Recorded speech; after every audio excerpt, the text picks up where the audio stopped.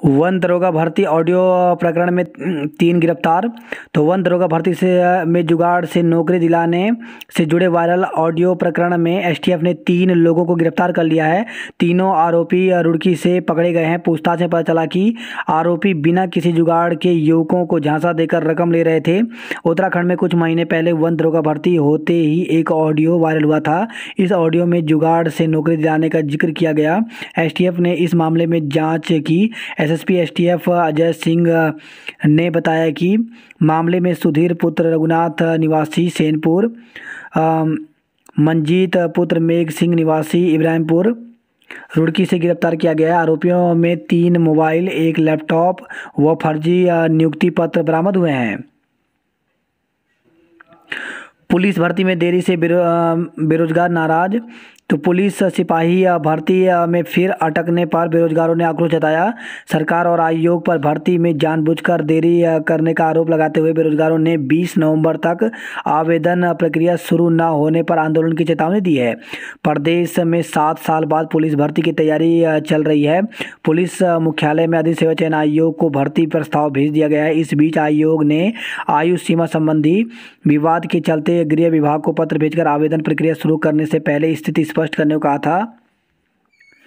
इस पर प्रतिक्रिया देते हुए गुरुवार को देवभूमि बेरोजगार मंच के संयोजक राम कंडवाल ने कहा कि आयोग बेरोजगारों की याचिका का हवाला देकर आंदोलन प्रक्रिया शुरू नहीं कर रहा है, जबकि बेरोजगारों की याचिका पहले ही खारिज हो चुकी है। इस तरह कोर्ट में इस समय भर्ती को लेकर कोई वाद लंबित नहीं है। राम गंडवाल के मुताबिक प्रदेश में आचार संहिता लगने वाली है। यदि अगले महीने तक आवेदन प्रक्रिया शुरू नहीं हुई तो अप्रैल तक नई भर्ती नई सरकार के गठन का इंतज़ार करना पड़ेगा। ऐसे में यदि 20 नवंबर तक पुलिस भर्ती प्रक्रिया शुरू नहीं हुई तो बेरोजगार आमरण अनशन करने को मजबूर होंगे।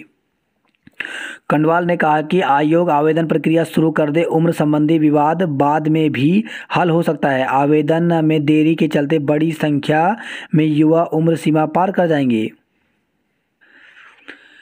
भाजपा सरकारी कर्मचारी बने तीन हज़ार दो सौ लोगों के नाम बता दे, मैं राजनीति छोड़ दूँगा। तो पूर्व मुख्यमंत्री हरीश रावत ने राज्य चुनाव संचालन समिति के नियोजक हरीश रावत ने भाजपा को चुनौती दी है।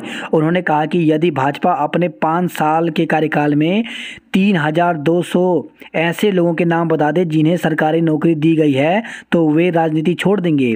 हल्द्वानी में गुरुवार को आयोजित शंखनाद जनसभा में हरीश रावत ने यह ऐलान किया है। जल्द भरे जाएँ विभागों में रिक्त पद।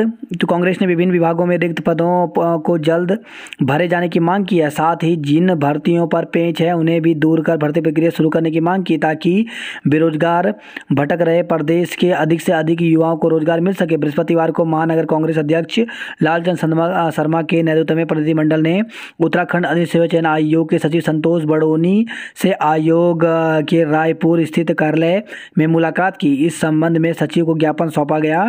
कांग्रेस महानगर अध्यक्ष लालचंद शर्मा ने कहा कि सात साल से अधिक समय बाद शुरू हुई पुलिस सिपाही भर्ती प्रक्रिया एक बार फिर अटक गई है, जिससे सैकड़ों बेरोजगार युवक मायूस हैं।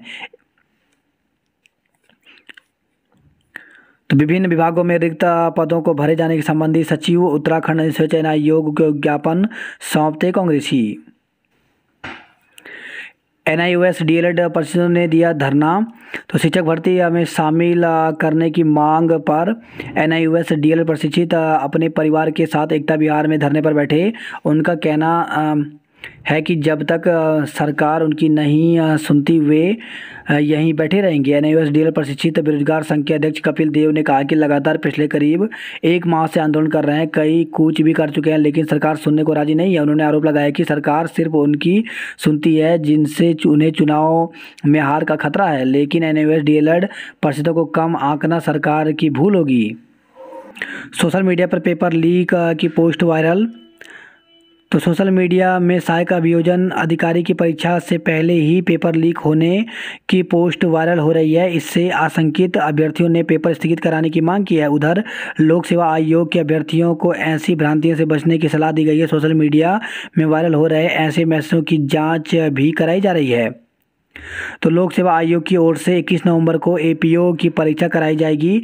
तिरसठ पदों के लिए लगभग पैंतालीस हज़ार अभ्यर्थियों की ओर से परीक्षा दी जानी है लेकिन परीक्षा से पहले आ, सोशल मीडिया में पेपर लीक होने या, या फिर लीक होने के मैसेज वायरल हो रहे हैं। बात करते जॉब अलर्ट को लेकर के तो कनिष्क अभियंता सहित विभिन्न पद रिक्त तो तीन सौ निन्यानवे पदों पर भर्ती निकली हुई है, जिसके लिए सत्रह नवंबर तक आवेदन कर सकते हैं। विभागीय भर्ती के तहत ड्राइवर की रिक्तियाँ तो चौरानवे पदों पर भर्ती निकली हुई है, जिसके लिए बाईस नवंबर तक आवेदन कर सकते हैं। वहीं रेलवे में अप्रेंटिस करने का अवसर तो एक हज़ार छः सौ चौंसठ पदों पर भर्ती निकली हुई है, जिसके लिए एक दिसंबर तक आवेदन कर सकते हैं। डिप्टी मैनेजर के पदों पर आवेदन का मौका तो भारतीय राष्ट्रीय राजमार्ग प्राधिकरण NHAI में सत्रह पदों पर भर्ती निकली हुई है, जिसके लिए उनतीस नवंबर तक आवेदन कर सकते हैं।